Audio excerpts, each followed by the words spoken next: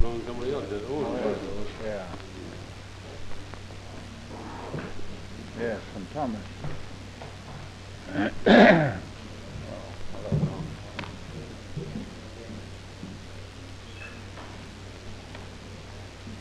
You were just a little late. Just a little late. I'm a little late. About two minutes. Well, I may have to leave a little early too. I'm on my way to Chicago. Going out where have real weather?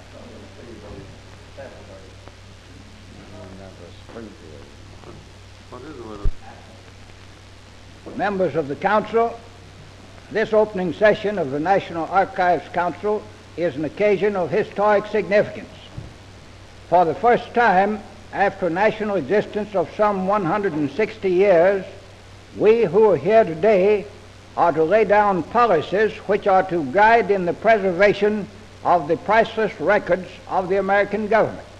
Policies which are to affect not only the accumulated stores of the past, but also the increments thereto, which will accrue throughout the generations to come. I count it a notable honor that you have assigned to me the privilege of presiding at our deliberations.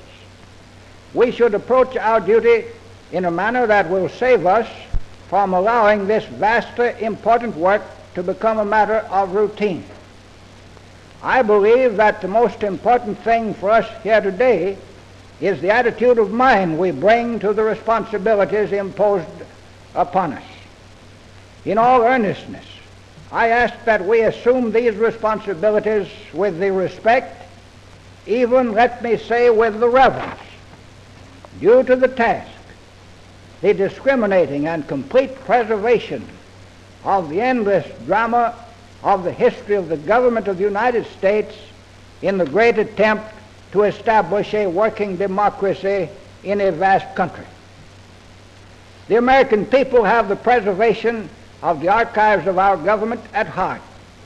To this end, they have built an instrument equipped with the most modern devices and adequate in every respect. Without stint, they have indicated what is a very noble conception.